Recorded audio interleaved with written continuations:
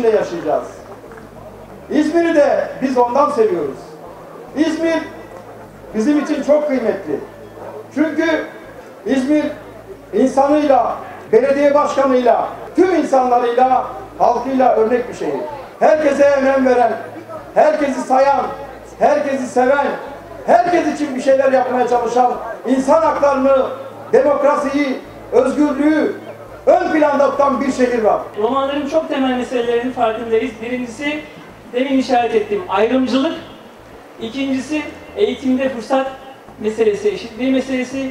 Üçüncüsü istihdam meselesi. Dördüncüsü en temel meselelerden birisi olan barınma. Ve biz bunlara roman eylem planı doğrultusunda çözüm geliştirmeye çalışırken gururla, iftiharla söylüyorum bu alanda en büyük, en gerçekçi, en doyurucu adımları atan belediyemiz İzmir Büyükşehir Belediyesi'dir. toplumsal yaşamda var olan tüm dezavantajlı durum ve eşitsizlikleri ortadan kaldırmak, farklılıkların bir aradalığını sağlayarak ortak yaşam iradesini sürdürmek amacıyla eşit bir yurttaşlık mümkün anlayışıyla hareket ediyoruz. Uluslararası Romanlar Günü'nü bu eşitsizliklere karşı bir farkındalık oluşturmak ve roman kültürünün tanıtılması amacıyla kutluyoruz. Gallius bir şey söyledi, yüreğime dokundu. Dedi ki bizim ülkemiz yok. Ama sevgili Gallius sizin şehriniz var. İzmir sizin şehriniz. Bunu şu rahatlıkla söylemek istiyorum. Yarın Konak Belediye'mizin öncülüğünde Roman Kültür Merkezi'nin açılışını yapacağız belediye başkanıyla beraber.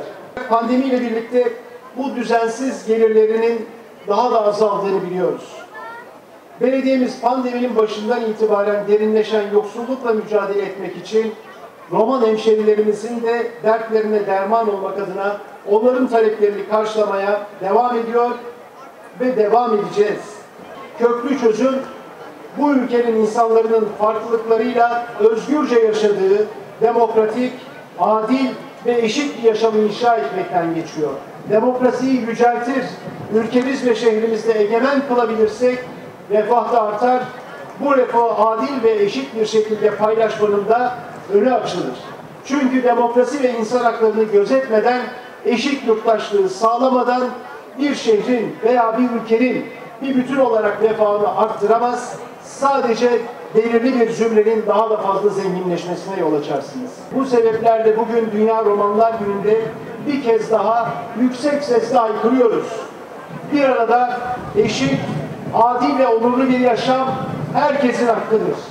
Temennimiz ön yargılardan ve ayrımcılıktan uzak, eşit bir yurttaşlık ve farklılıkların bir arada yaşandığı bir hayatı İzmir'den başlayarak inşa etmektir. Roman hemşerilerimizle çok renkli, çok sesli ve çok zenginiz.